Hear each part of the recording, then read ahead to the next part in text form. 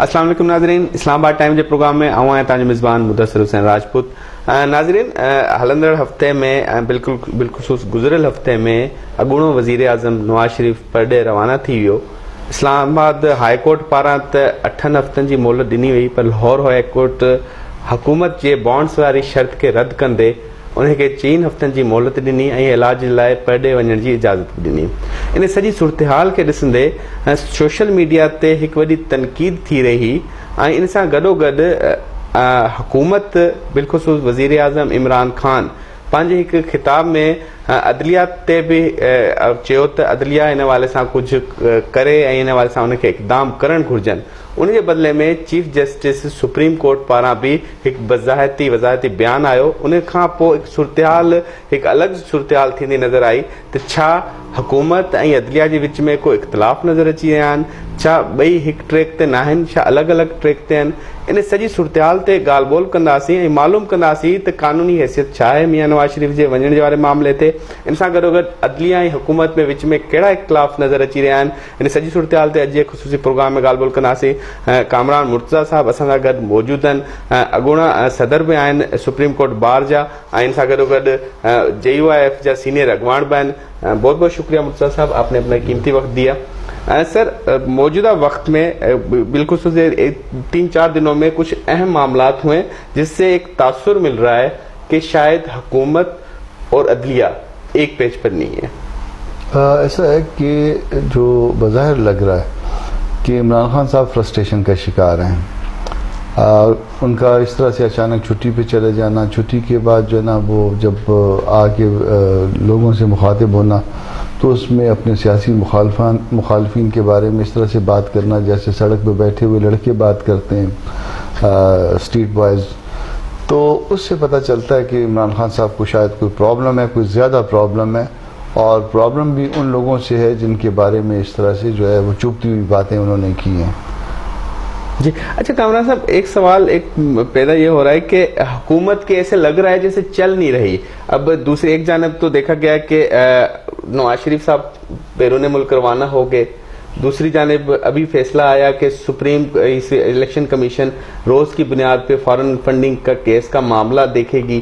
تو ایسے لگ رہا ہے کہ جیسے اب حکومت کا جو معاملہ ہے وہ کچھ نیگٹیوٹی میں جا رہا ہے، اب اپوزیشن کے معاملہ درست ہوتے جا رہے ہیں۔ دیکھیے، اس میں ایسا ہوتا ہے کہ آپ نے نتائج دینے ہوتے ہیں۔ آپ، ہم، ٹھیک ہے، ہم تیسری دنیا کے ملک ہیں، ہمارے یہاں غربت بھی ہے، مسائل بھی ہیں۔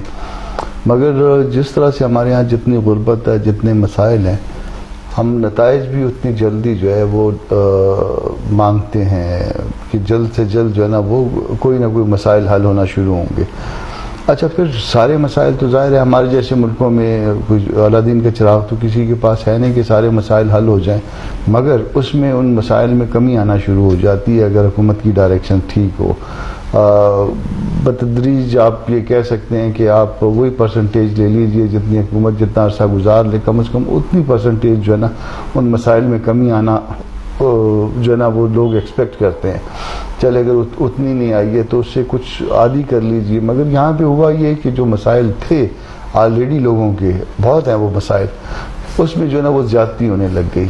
مہنگائی حد سے بڑھ گئی، ہر چیز جو ہے نا وہ ان کی بس سے نکل گئی۔ کوئی رشوت جس جو ان کے بارے میں، جس کے کرپشن کے بارے میں یہ جو نا ان کا پورا ایک ایجنڈا تھا، جس کو کہتے تھے کہ جی کرپشن جو نا ہم ختم کر دیں گے، اور اتنے ارب روپے کی ڈیلی کرپشن ہوتی ہے، اور اس حساب سے اگر اس کو کیلکولیٹ کرتے تھے، تو وہ ایک سال میں جو ہے نا وہ نتائج جو ہے نا بہت بڑے آنے چاہیے تھے۔ تو اگر وہ ان کے آنے کے بعد اگر صرف وہی کرپشن رک گئی ہوتی، تو میرا خیال ہے کہ ہم کو آئی ایم ایف کے پاس نہ جانا پڑتا، ہم کو جا کے لوگوں کے سامنے بھیک نہ مانگنی پڑتی۔ مگر وہ معاملے بھی نہیں بڑھے بلکہ رپورٹ کانٹری اس بات کی رپورٹ یہ آ گئی کہ تین پرسنٹ کرپشن مزید بڑھ گئی ہے۔ پہلے سے۔ تو جب حالات اس طرح سے ہوں گے تو لوگ وہ ترقی معکوس والی بات ہے لوگ مایوسی کا شکار ہیں مایوسی میں پھر جو ہے نا حکومتی چیزیں جو ہے نا حکومتی وہ ریٹ اس طرح سے نہیں رہتی ہے۔ پھر ان کے یہاں جو ہے نا نقائص اور بھی ہیں۔ ایک تو لیجیٹیمیسی کا ایشو تھا ہی تھا ان کے ساتھ۔ جی۔ دوسرا انیبلٹی کا مسئلہ آ گیا۔ پھر یہ لیجیٹیمیسی کو جو ہے نا اگر آپ کے یہاں لیجیٹیمیسی کا ایشو ہو کہ متفظ کر لیجیے ایسی گورنمنٹ ہے جو ناجائز طور پہ آئی ہے مگر ایبلٹی اس کی ٹھیک ہے۔ تو بھی جو نا لوگ اس لیجیٹیمیسی کو بھول جاتے ہیں یا ان کی ابیلٹی ٹھیک نہیں تھی۔ اس کے بعد تیسرا جو ہے نا وہ ایک اور چیز آتی ہے اگر لیجیٹیمیسی بھی گڑبڑ ہو ابیلٹی بھی کمزور ہو تو ان لوگوں کی اگر زبان ہی ٹھیک ہو کوئی انسانوں کے بچوں کی طرح بات کریں، تو بھی جو ہے نا وہ، یہ زبان جو ہے نا وہ ان دو برائیوں پہ شاید کسی حد تک قابو پا لیتی ہے۔ تو ان کی زبان بھی ماشاءاللہ ہے تو جب یہ تینوں چیزیں جب مل گئی ہیں تو پھر انہوں نے اپنا وہ جو جانے کا عمل ہے اس کو بہت تیز کر دیا۔ اچھا کامل صاحب، ایک چیز یہ آپ سے پوچھنا لازمی چاہیں گے کیونکہ آپ قانون دان ہیں، آپ اسی عدلیہ کا اہم حصہ ہیں، تو ایک سوال عام طور پہ اٹھ رہا ہے، عام عوام میں پوچھ رہی ہے کہ آخر یہ تضاد کیوں ہے؟ عدلیہ کی جانب سے، کیونکہ عدلیہ تو نیوٹرل ہونی چاہیے، عدلیہ یہ ایک ادارہ بچا تھا کہ جس کی جانب سے یہ کوشش ہونی چاہیے کہ سب کو بر وقت انصاف فراہم کرے۔ لاہور ہائی کورٹ کا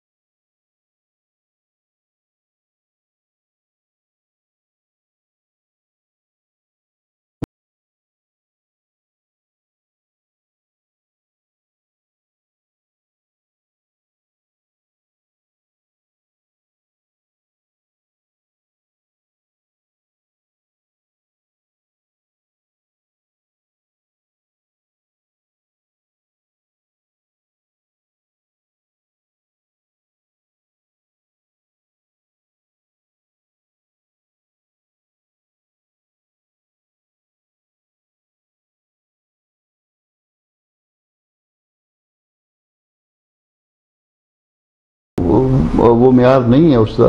میں کیس کو اس طرح سے پریزنٹ کرتا ہوں کہ اس میں وہ سبسٹینس نظر نہیں آتا۔ اس کو ایک اور اینگل سے دیکھیے۔ آپ خدا نخواستہ بیمار ہوتے ہیں، آپ اچھے ڈاکٹر کے پاس چلے جاتے ہیں، آپ کو بہتر ٹریٹمنٹ ملتی ہے۔ ایک غریب آدمی بیمار ہوتا ہے، کمزور ہے وہ سرکاری ہاسپٹل میں چلا جاتا ہے یا کسی اتائی کے پاس چلا جاتا ہے تو اس کو کم تر ٹریٹمنٹ ملتی ہے۔ آپ کہتے ہیں کہ وہ وہ جلدی ٹھیک ہو گیا یہ کیوں دیر سے صاحب اس کا مطلب ہے نہیں وہ سماجی انصاف اصل مسئلہ پتہ کیا؟ اصل مسئلہ اس ملک میں انصاف جو ہے وہ سماجی انصاف ہے۔ ہمارے یہاں سوشل جسٹس جو ہے نا وہ پرابلم تعلیم کو دیکھ لیجیے جی۔ آپ کا بچہ آپ امیر ہیں آپ کا بچہ بہت اچھے اسکولوں میں پڑھ رہا ہے میں غریب ہوں میرا بچہ جو ہے نا وہ جا کے ترقی یافتہ معاشروں میں تو نہیں ہوتا نہیں ہوتا نا وہ آئیڈیل پوزیشن ہے وہ آئیڈیل پوزیشن ہے۔ اصل چیز پتہ کہ اصل چیز عدالت میں پرابلم نہیں ہے۔ اصل چیز اس پریزنٹ کرنے میں اس سوشل جسٹس کا پرابلم ہے۔ اب آپ نے کہا کہ چھٹی والے دن عدالت بیٹھ گئی۔ یہ تو سیٹرڈے میں بیٹھی تھی نا شاید۔ جی سنڈے میں بیٹھتی ہے کافی۔ ہاں وہ بھی بتاتا ہوں نا۔ ہائی کورٹ رولز میں پرووائڈیڈ ہے۔ اچھا۔ ہائی کورٹ رول میں پرووائڈیڈ ہے ایون سیشن جج یہ آپ میں سے کسی کو نہیں پتا نا کسی دوست کو نہیں پتا۔ ایون سیشن جج چھٹی والے دن جو نا ایک گھنٹہ اپنے گھر پہ مخصوص کرے گا ارجنٹ کاموں کے لیے۔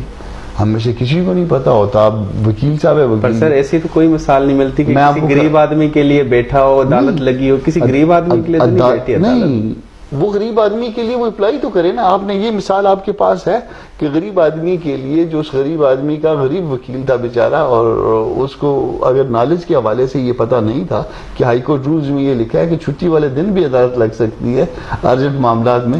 اگر اس نے اپلائی نہیں کیا تو پھر قصور کس آپ کے آج کی یہ انفارمیشن کے بعد غریب آدمی جج کو بٹھا سکتے ہیں اتوار دن بٹھا سکتا ہے بٹھا سکتا ہے ایون سیشن جج کو بٹھا سکتا ہے۔ اور یہ سیشن جج اب یہ رواج ختم ہو گیا۔ سیشن جج بھی بادشاہ ہو گئے ہیں شاید۔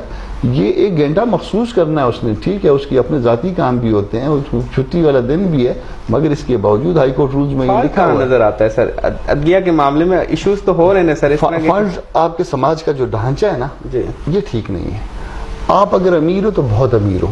میں اگر غریب ہوں تو بہت غریب ہوں۔ وہ جو درمیان والا طبقہ ہے وہ اتنا سا رہ گیا وہ روز سوکر رہا ہے شرنک ہو رہا ہے۔ فالٹ جو ہے نا آپ کے سماجی جو ہے نا سسٹم کے اندر ہے سماج کے اندر ہے ہم اس کو ٹھیک نہیں کر رہے ہیں۔ پھر اس میں سماج میں تو پھر عدالتیں بھی سماج کا حصہ ہیں ڈاکٹر بھی اور ہاسپٹل بھی سماج کا حصہ ہے ایجوکیشن سسٹم بھی جو ہے نا سماج کا حصہ ہے تو چونکہ وہ سماج کا جو وہ بیلنس ہمارا جو ہے نا وہ ٹھیک نہیں ہے سماج کے اندر۔ جی۔ اب ہوتا یہ نا کہ میں اگر ایک دفعہ امیر ہو گیا اور میرے پاس چند کروڑ روپے آ گئے تو وہ پھر بڑھتے جائیں گے۔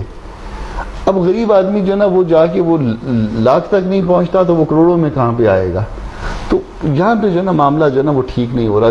ترقی یافتہ معاشروں میں جو نا انہوں نے وہ سیکیور کر دی ہے۔ اس حد تک کم از کم ایک تو یہ ہے کہ ایکولیٹی کو جو ہے نا ایکول کہیں پہ نہیں ہوتے لوگ۔ ایکولیٹی کا مطلب یہ کہ ایکول اپرچونٹی جی۔ اللہ پاک نے برابر نہیں پیدا کی نا یہ انگلیاں برابر نہیں ہیں۔ ٹھیک ہے۔ مگر ان کو بڑھنے کے لیے جو نا اپرچونٹی جو ہے وہ برابر ہے۔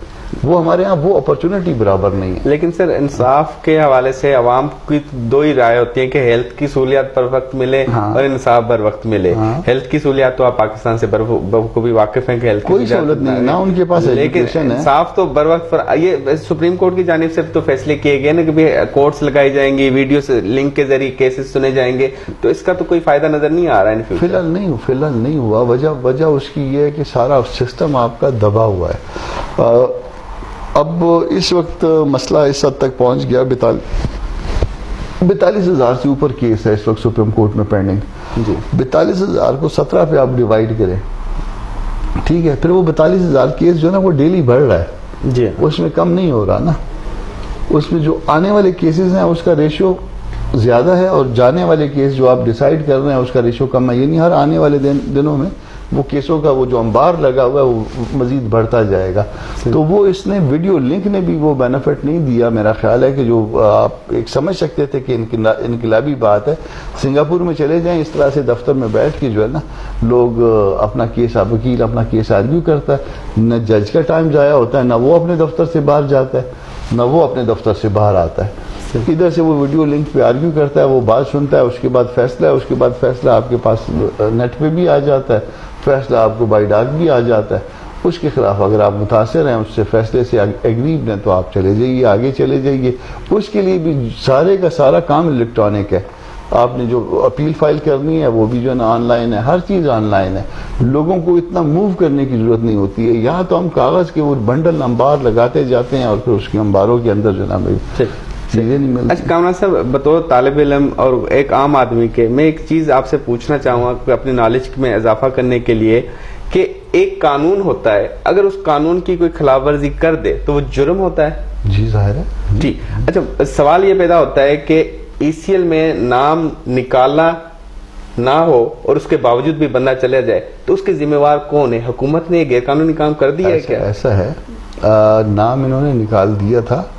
نہیں ابھی تو نکالا نہیں ابھی تو صرف پرمیشن جھوٹ بول رہے ہیں جھوٹ بول رہے ہیں نا۔ وہ ایک کاغذ کے اندر نام پڑا۔ ای سی ایل میں انہوں نے مینشن کر دیا کہ جی اس کا نام ان کی طرف سے ریپرزنٹیشن آ گئی نا میاں شہباز شریف کی طرف سے۔ جی۔ ریپرزنٹیشن آ گئی اس پہ کیبنٹ کی جو کمیٹی یا ذیلی کمیٹی اس نے یہ فیصلہ کیا کہ اس سے نام نکال دو ان کا ای سی ایل سے۔ پرووائڈیڈ انہوں نے ساتھ دو کنڈیشن امپوز کر دی کہ وہ انڈیمنٹی بانڈ فائل کریں اور اتنی مدت کے لیے ٹھیک ہے؟ اس جو کنڈیشنز تھیں، اس کے ساتھ جو ہے نا وہ متفق نہیں تھے میاں نواز شریف والے، میاں شہباز شریف والے، وہ لاہور ہائی کورٹ میں چلے گئے۔ اب جب چلے گئے تو وہ جا کے انہوں نے وہ کنڈیشن جو ہے نا وہ ریموو کر دی۔ فیصلہ جو ہے چیف جسٹس نے بھی کر لیا۔ کہا کہ فیصلہ تو آپ نے کیا ہے۔ جی۔ ٹھیک ہے نا؟ تو فیصلہ کس چیز کا آپ نے کیا فیصلہ آپ نے ای سی ایل سے نام نکالنے کا کیا ہے۔ آپ نے دودھ دیا مگر اس میں مینگنیاں ڈال دی انہوں نے وہ مینگنیاں نکال کے باہر رکھ دی۔ اتنا سا فرق ہے۔ نام نکل گیا۔ اب وہ یہ کہ وہ ویب سائٹ پہ نام آتا رہے گا تم فیصلہ دکھاؤ باہر چلے جاؤ۔ یہ صرف ڈرامہ کر رہا ہے۔ کامران صاحب ابھی بریک لیں گے بریک کے بعد پھر آئیں گے۔ ناظرین، کامران مرتضی صاحب سے گال بول جو سلسلہ جاری ہے یہ وٹنا سی بریک ہیں بریک کھا وہ بے راز سے